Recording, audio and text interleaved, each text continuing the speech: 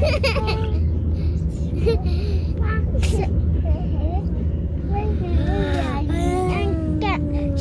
mouse Snape and here. I said a mouse Snape.